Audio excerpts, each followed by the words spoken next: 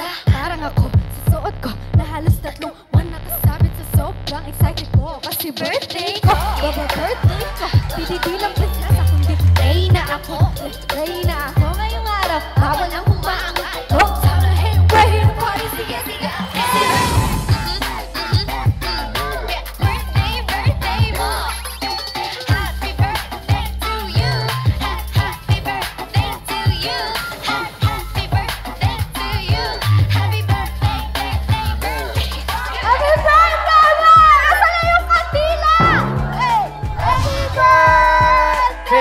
to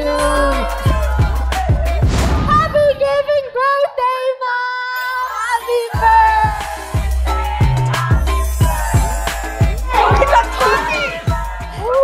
Painom ka na, tita. Yes, blow your candle, mom.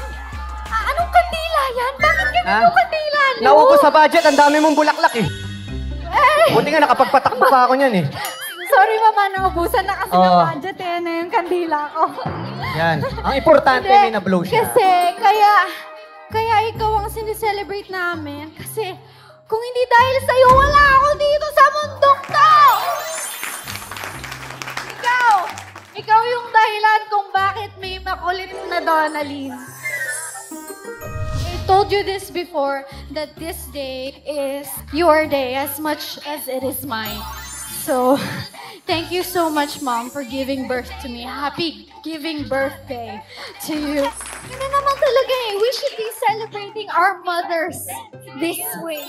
Kaya pala dapat kasi ang request ko, ito yung gown ko. Sabi niya bawal. Ah, syempre, bir- happy birthday din kay Donna. Happy, happy birthday din Thank sa'yo. you, Nico. Thank you. Thank you. Thank you sa pagpapaalala sa akin kung gaano ka-importante ang ah, mga nanay.